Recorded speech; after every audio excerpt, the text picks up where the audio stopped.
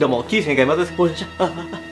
ゴージャス真逆の存在だというわけでですね今回まずラビで都市伝説シリーズでございますというわけでですね令和のミスター都市伝説ミスター関を呼んでいますうわうわ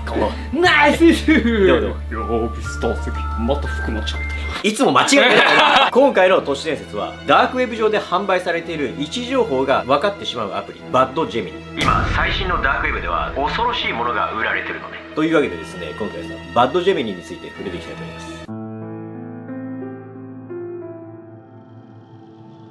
2023年12月 Google は画像生成 AI ジェミニを発表したのよ。ジェミニはテキストや画像音声動画を用いてチャット形式で簡単に高度なタスクを指示できるのね。わしでもできるわ。絶対無理なんだよ。そして2024年2月には Google の AI サービスである Bard がジェミニへと統合され最上位バージョンもリリースされるなど急速な進化を遂げており生成 AI 業界の新たな進歩を示してるんだよもう世界的な有名ハッカーと一緒だったら生産もできるからそう。うん。あの天才ハッカー。岸本さんね勘違いしてねえか そしてそんな Gemini をベースとした BadGemini という AI がダークウェブ上で販売されてるのよ。ダークウェブ上で45ドルで販売されており写真をアップすると写真の情報を読み込んで Google マップ上で正確な住所が表示されてしまう。また検出不可能なハッキング用のコードも生成可能となっており安価で買えるのに犯罪に使用される可能性が多く存在しているのよ。ダークウェブ上では BadGemini のような危険なツールが市場に出回っており危険に溢れている。のねそしてそんなダークウェブ上にはマルウェアや麻薬などを販売する EC サイトやハッキング情報犯罪情報を交換する SNS のようなコミュニティサイトファイル交換サービス最近ではランサムウェアサービスサイトなどが存在するの。パソコン壊れちゃったんだよ最初から持ってねえよ。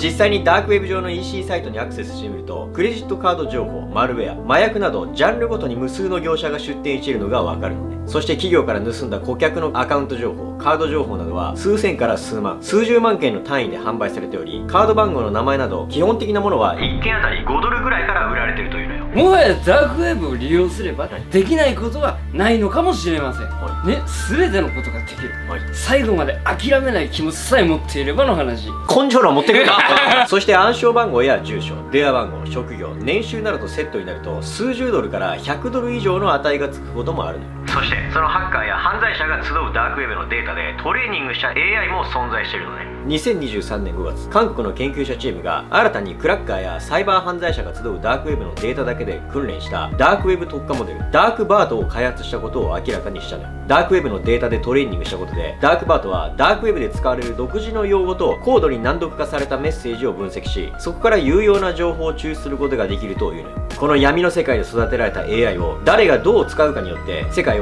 平和にもできるし凶悪な犯罪ツールとして使うこともできてしまう。今後世界は AI で全て操ることができてしまうかもしれない。チープウェーブ使おうぜ。どこにあんだよ。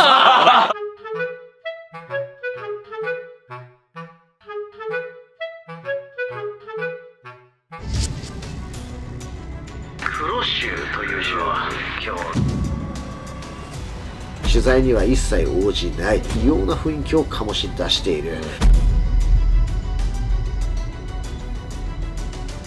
私何にも知らんからそんな関係ないっていう。命を取られてしまうと噂されている。なんで知ってんの？動画撮ったりとかできます。あ